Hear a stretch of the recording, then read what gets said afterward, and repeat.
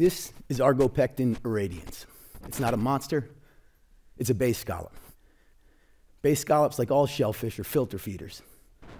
They pump water through their bodies, grazing on microscopic plants, phytoplankton, that are naturally occurring in the environment. In doing so, this provides a tremendous ecosystem service by increasing the amount of dissolved oxygen available to all living things in the ocean. Phytoplankton aren't bad in and of themselves. In fact, they're the foundation of the food web in the ocean. But in abundance, they can lead to low oxygen levels. How this happens is when the sun comes up, phytoplankton photosynthesize, they respirate. And then when the sun goes down, they can't, they can't photosynthesize, so they only respirate.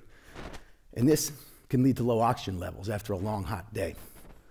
When the sun goes down after a long, hot day, all that phytoplankton respirating right before the sun comes up is when the dissolved oxygen can get critically low, leading to anoxic or hypoxic situations where there's not enough oxygen available in the water. Shellfish and other filter feeders reduce that occurrence from happening by the mechanism in which they feed. They take the phytoplankton out of the water, use it for growth, reproduction, energy, and increase the dissolved oxygen. They also increase light penetration to the sea floor. Because they're taking particulate matter out of the water, it's increasing how much sunlight reaches the seafloor, promoting aquatic vegetation, like eelgrass, which is essential fish habitat, very important to our commercial fisheries. Another ecosystem service that shellfish provide is they absorb carbon. The oceans absorb carbon from our atmosphere, and shellfish mineralize or crystallize that carbon in the form of calcium carbonate to create their shells, putting it in long term carbon storage. Take a closer look, 150 times magnified, of uh, blue mussel, Mytilus edulis water's pumping through the blue mussel and it's being retained on what's commonly termed the gills. These are not gills, though, it's more like a screen mesh. It's called ctenidia. And this ctenidia has hair like structures that are catching the food particles and handing the food particles off like a football to a food groove that's in the lower part of the screen. You can see it right there. This next slide shows a similar action happening in the beloved eastern oyster or American oyster, Crassostrea virginica. The ctenidia on either side of the food groove uh, brought the food, phytoplankton, to the food groove. And the food groove there, you can see moving horizontally, bring the food to the mouth of the shellfish, in this case, an oyster. Quick biology lesson. Oysters, like most things in nature, react to a temperature spawning cue. When the water temperature warms up to around 68 degrees, the oysters put their male and female gametes, their egg and sperm, in the water. Fertilization happens when those male and female gametes randomly collide with each other, creating a fertilized larvae. The chance of that happening is very slim, so the oysters spawn millions. A female oyster puts 8 million egg in the water. A male oyster puts enough milk in the water to fertilize that of seven female oysters. Think about that when you're swimming in July, but that's what's happening. So if that random chance does happen, you have the simple single-celled, soft-bodied larvae. After just a day, it's this really involved trochophore larvae. It's got hair-like structures, cilia really, that allow it to be mobile. Oysters are different than hard-shell clams, soft-shell clams, razor clams. Those other shellfish have to burrow in the sediment to protect themselves from predators in order to undergo metamorphosis. Oysters need to attach onto a substrate to keep, them, keep themselves above the sediment so they don't get buried by the, uh, by, by the sediment and suffocate. So an oyster, if it survives for two or three weeks, if it doesn't get eaten by a little shrimp or a minnow, if oyster larvae survives through that two or three week uh, phase of uh, larvae phase, if it lands on a hard substrate like a shell or a rock, it will crystallize calcium carbonate that's naturally occurring in the water and stay there for the rest of its life until it's preyed upon, dies of a disease, or harvested. But I'm a farmer. I don't want to pluck oysters off rocks. Just like any farmer wants to start with their seed in the spring, I want to start with my seed in the spring. So this is a pilot scale hatchery. We got our seed from a hatchery, and this is a pilot scale hatchery we started with University of Rhode Island a few years ago. We put our broodstock oysters in that blue tank, a couple hundred broodstock oysters, the parent stock oysters, the oysters we want to be the parents of our baby oysters.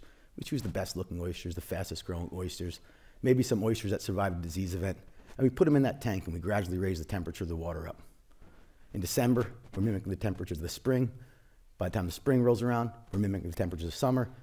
Now they're putting their massive numbers of male and female gametes in the water in this controlled setting. Remember how many each, each oyster is putting in the water. Now this is happening in controlled setting, resulting in literally billions of fertilized larvae. At this point is the only point that humans are feeding the oysters is in this larval stage. We have to grow a monoculture of the right species of algae and drip it into the tank with the larvae. There's red algae, green algae, brown algae. Different types of algae have different amounts of fats, carbohydrates, proteins. So the lab manager has to, you know, figure out what the, uh, what the larvae needs by checking it out under a microscope, checking out its health, and adjusting its diet. And if we can get that larvae to survive for between two and three weeks, the oyster becomes what's called sticky. It wants to start sticking onto a hard substrate. I don't want to sell an oyster attached onto a rock or a shell. I just want to sell an individual animal. So in the hatchery, we crush up clamshell fine like sand and present it to the oyster larvae. The oyster larvae lands on that crushed up shell, thinking it's attaching onto a rock or a big piece of shell, or not thinking anything because it's just an oyster larvae, and that's how we get oyster seed. There's a few hundred of them in my hand. One million of these oyster seed at about one millimeter fits in about the volume of a grapefruit. So we take our one million oysters and we bring them out to our oyster farm. This is Matunuck Oyster Farm in southern Rhode Island. We put them in these sturdy plastic mesh bags. And as they get bigger, they graduate into larger size mesh bags.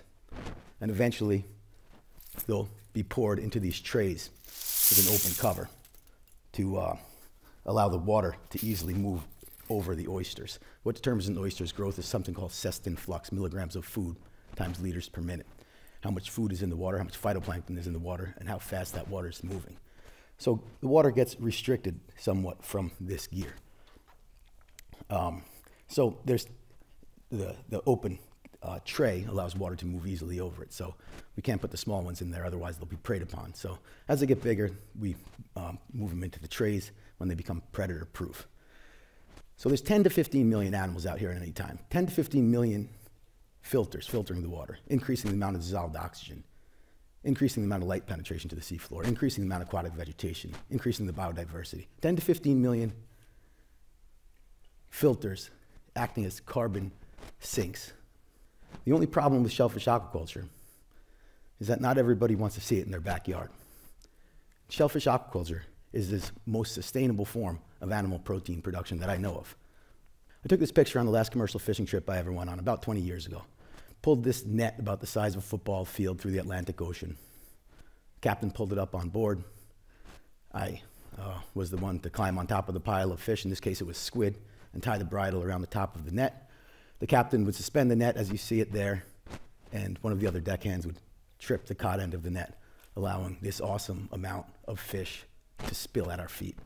Me and the other deckhands, we'd pick the fish that we didn't have a market for, the uh, fish we weren't allowed to keep out overboard, and we put our target species down below in the fish pens.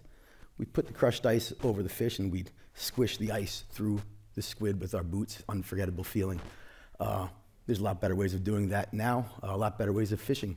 Uh, fishermen and women have improved uh, their techniques over time. Year after year, more people have gone fishing and caught more fish. The Industrial Revolution went from steam powered engines to combustion powered engines. We got more powerful boats. World War II, we developed sonar, radar. We started using that technology to capture fish, GPS.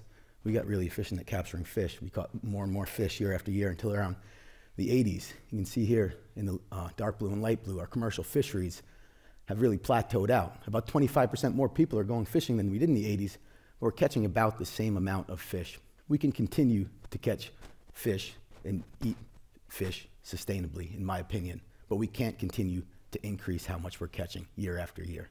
The demand on seafood is not plateauing out, though. The demand on seafood only continues to increase with a growing population, with increasing wealth, and with education. People know that seafood is a great protein option. They're eating more of it.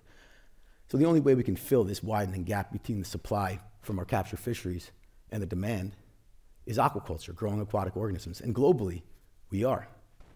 Aquaculture is the fastest growing food producing industry in the world. It's growing the fastest in Africa, where the population is happening the fastest. It exists the most in Asia. China makes about 60% of the world's total production of aquatically grown organisms. United States, just 0.6%. If we want to eat sustainable seafood here in the United States in the future, we need a real increase in sustainable aquaculture in the United States, along with a well managed commercial fishery. The United Nations came up with 17 goals for sustainable development to provide a shared blueprint for peace, prosperity, for people on the planet now and into the future. Aquaculture fits 14 of these goals. We can continue to use our oceans for transportation, recreation, tourism, and farming. We need to find a balance. If we are to have sustainable seafood here in the United States, we need to accept sustainable aquaculture here in the United States. This is not a monster. This is sustainable seafood. Thank you.